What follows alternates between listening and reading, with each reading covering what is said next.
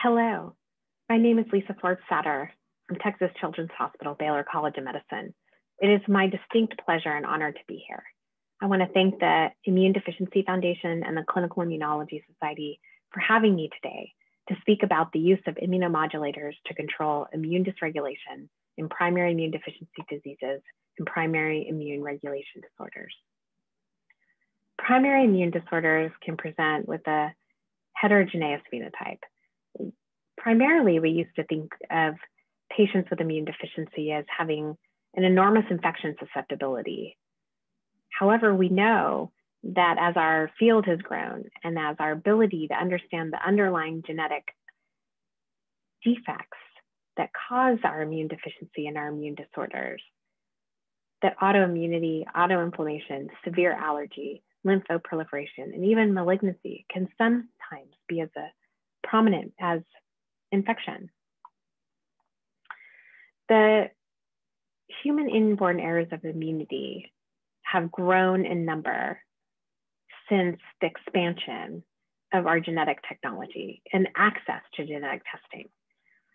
So the Union of the International Union of Immunologic Societies Expert Committee every two years develops a report to publish in a very systematic and categorized fashion the inborn errors of immunity that have been reported thus far. And since 2005, it's been important for them to report it every two years. As, as you can see by this graph, the numbers have grown immensely. And even since the last report has come out, we've expanded our numbers beyond the 416 described in the 2019 version, which is the most recent version published in January of 2020. And in that publication, all of the numbers that you see in red um, on the graph are the new disorders that had been published since the 2017 report. All of the disorders are categorized in the following categories, categories that you see on this table that span the underpinnings of the mechanism that we see translated by the genetic defect. And so we are now armed with tools to identify the right pocket of the immune system in which our patient's defect occurs. And I want to thank my colleague Troy Torgerson for helping me develop this slide because it's an important concept. And the concept is that patients with immune disorders or inborn errors of immunity either present with a predominance of infections or a predominance of immune dysregulation. And those who present with infections as the most prominent feature can actually also have uh, immune dysregulation. But really the issue are the infections.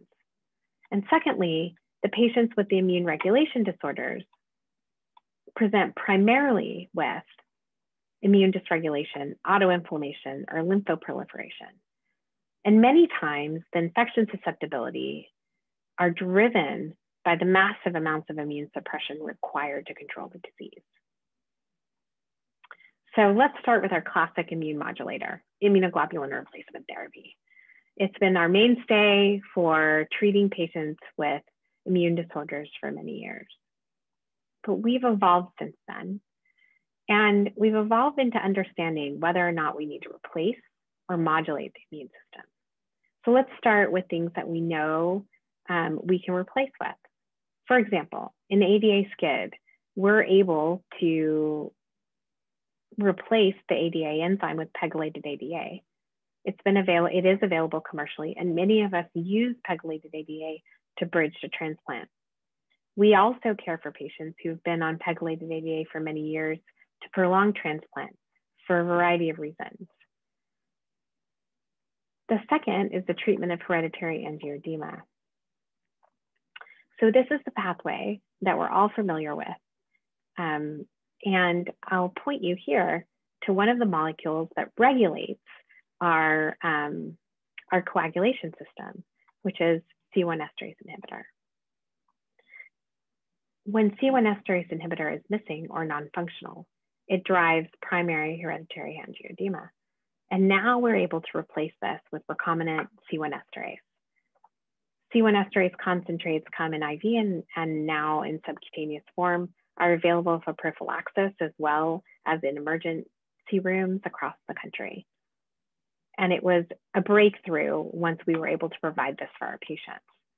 We can also provide help downstream of the cause and provide areas where we can block the pathway which leads to angioedema, like bradykinin receptor antagonist icatibant or plasma kallikrein inhibitor ecallantide.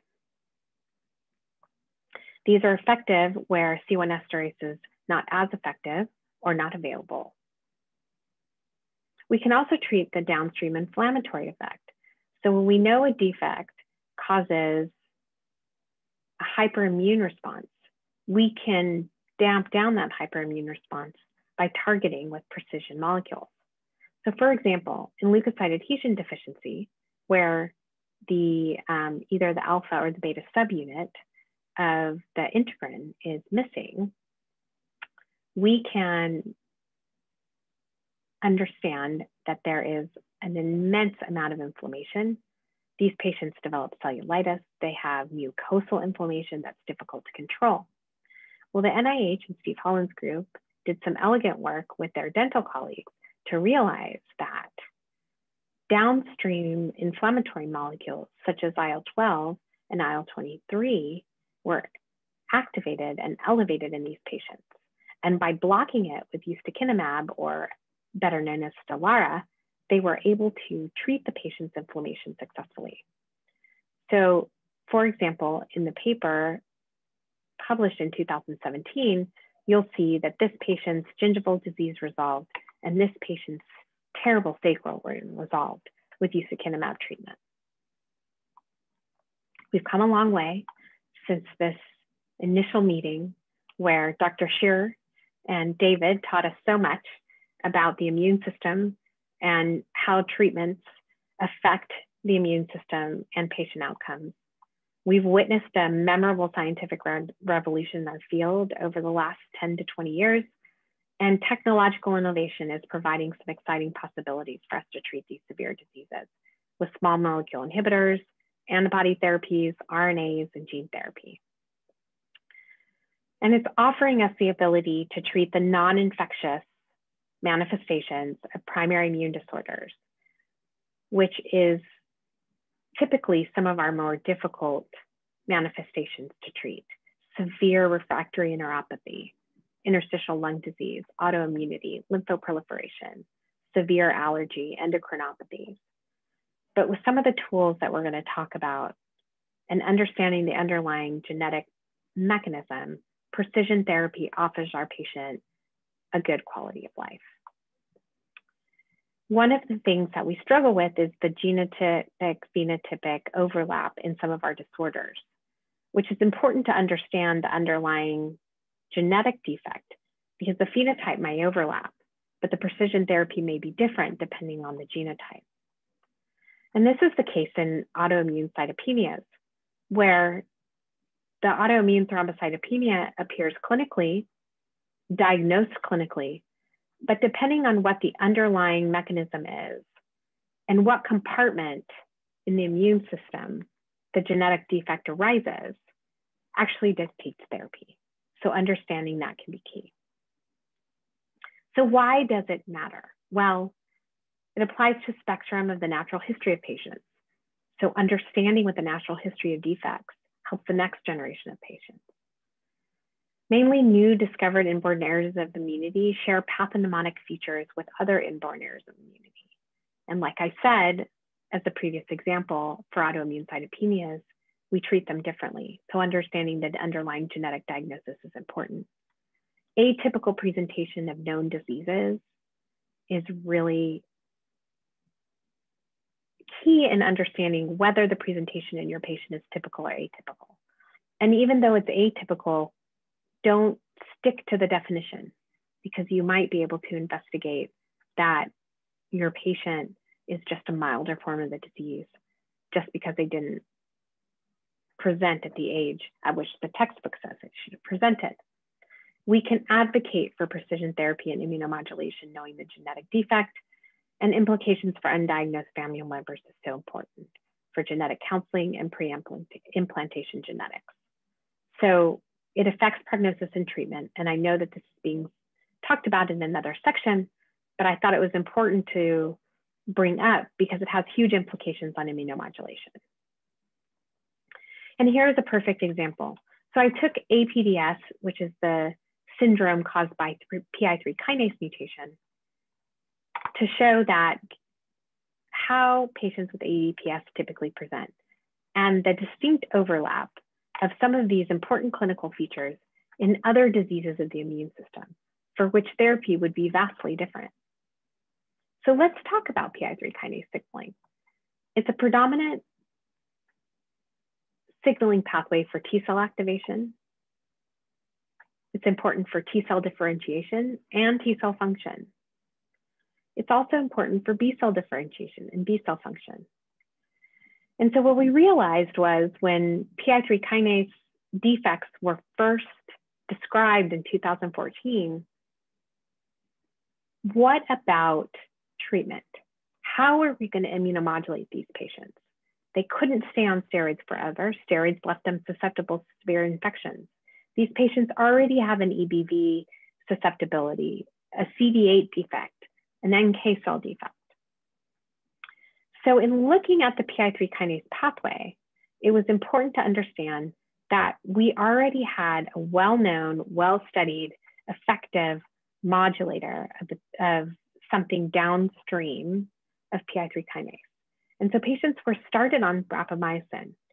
And the first initial reports suggest that there was significant benefit to the intense lymphoproliferation caused by this disorder.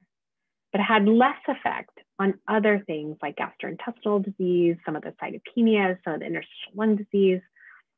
But it really did have an effect on lymphadenopathy um, and hepatosplenomegaly.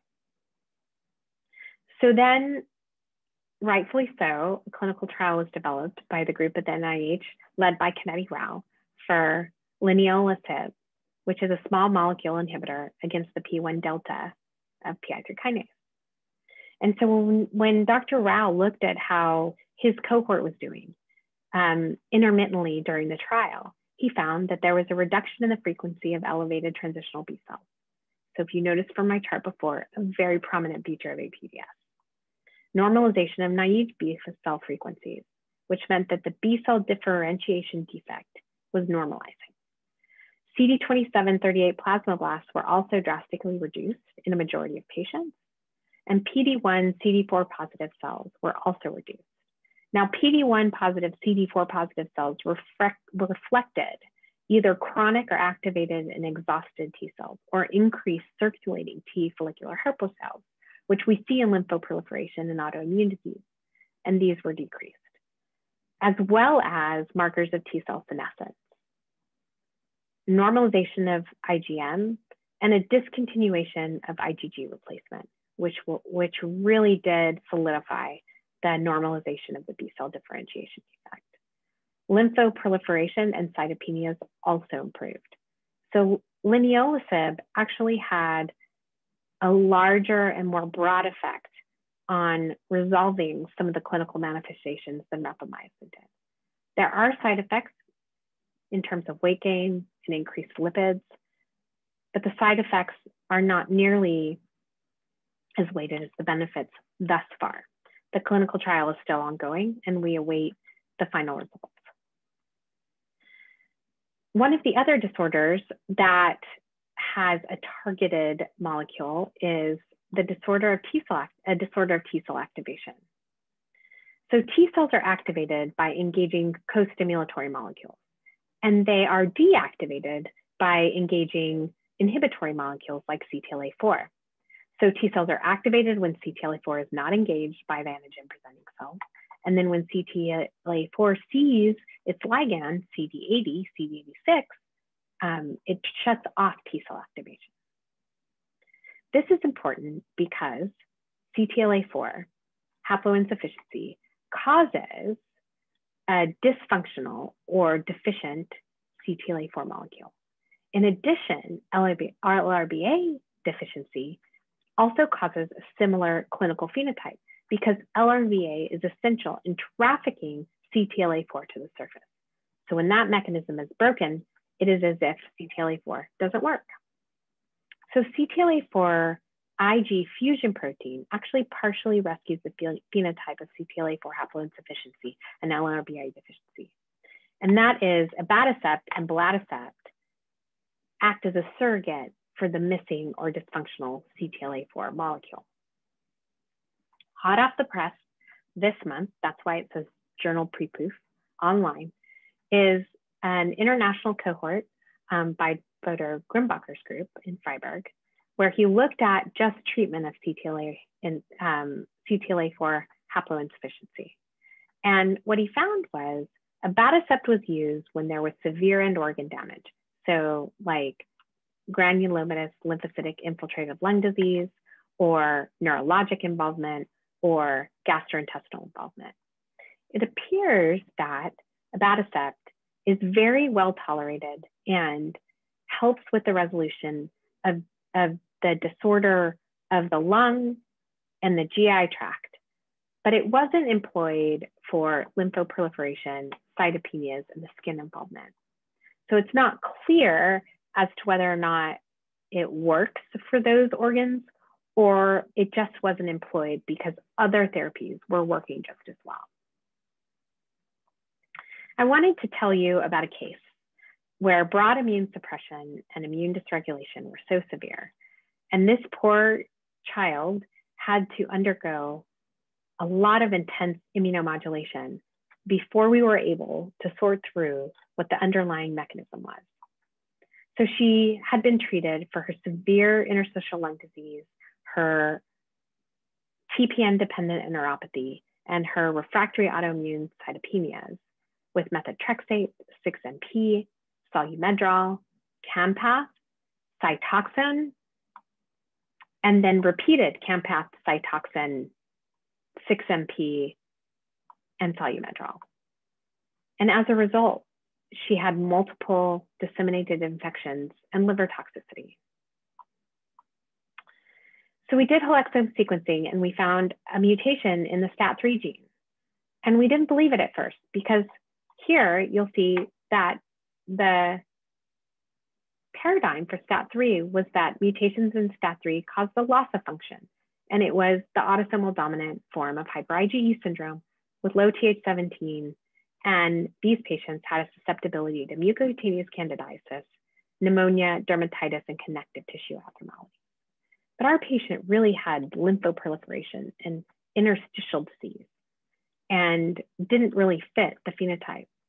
And through a series of collaborations, we found that there are mutations in STAT3 that confer gain of function signaling. And that is exactly what our patient had.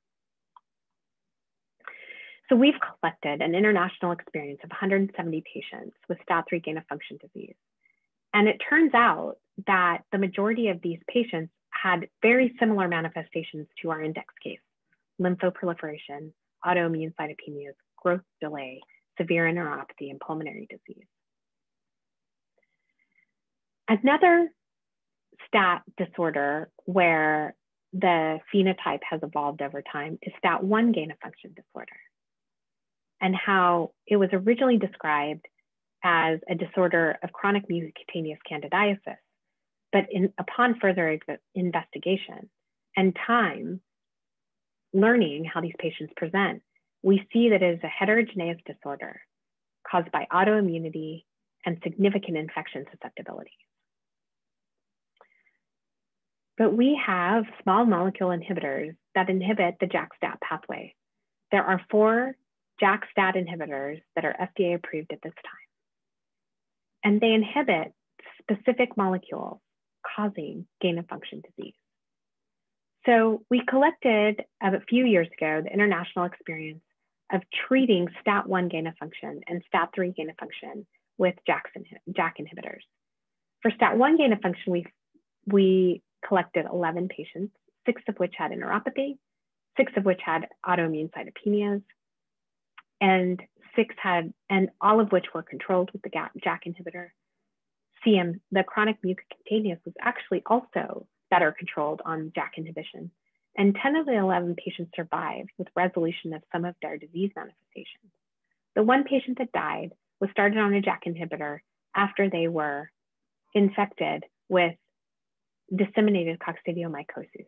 So it's not clear as to whether or not the JAK inhibitor did not have an effect because she already had disseminated disease or if the JAK inhibitor made the disease worse. For STAT3 gain of function, six patients have treated and four survived. Two had resolution of their enteropathy, three had resolution of cytopenias, three had resolution of autoimmune hepatitis, and one had resolution of autoimmune driven hepatic venous stenosis from the inflammatory vasculitis in the liver. One had marked improvement of her respiratory status, and one had resolution of HLH. One of the patients died on therapy. However, the other patient that died had very good control of his disease. He died of post-transplant complications.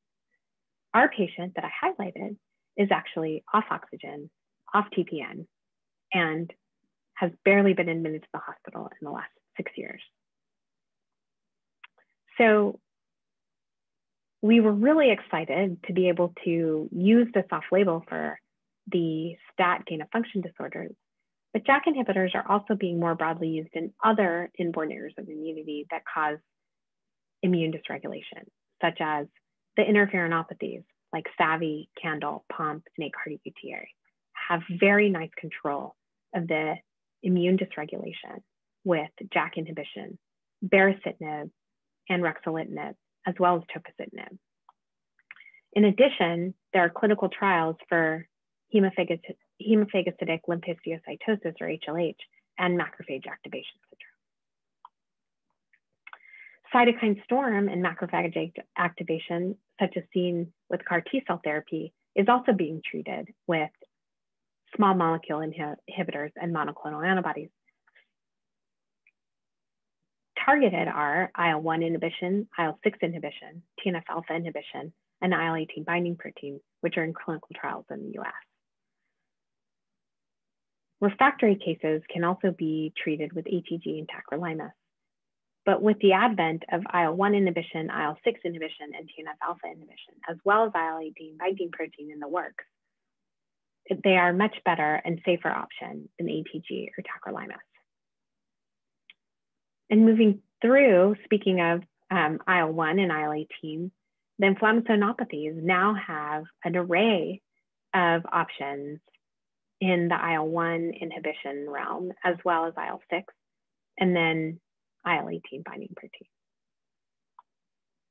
So many of the disorders that I have discussed and the immunomodulators that I have discussed, you can find in this article that Dr. Leiding and I presented a few years ago.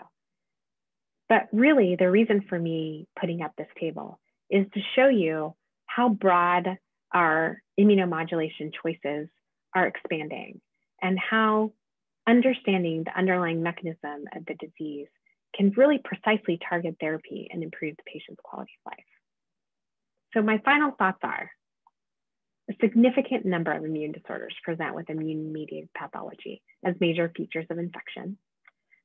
Specific genetic disorders are teaching us about the basic mechanisms so we can actually better target therapy. If you know the cellular mechanism or the genetics, you can personalize your patient's therapy. It's incredibly important in this era, and it is a team sport. We need all of our colleagues and all of our staff members and the patients to create a thoughtful team to bring the precision therapy to fruition. Innovation, using mechanism to employ new therapies for safe and innovative immune modulation and cure is key for our specialty to advance in the future. I'm so thankful to be here. I want to highlight that um, I give this talk in memory of Dr. Shearer, who is a staunch advocate of the Immune Deficiency Foundation and a steadfast supporter and participant in the Clinical Immunology Society. I want to I want to thank the patient and families. Without them, we don't have this kind of purpose to make their lives better. And we appreciate their partnership. all my funding mechanism, and all of my colleagues out there doing this work. Thank you so much.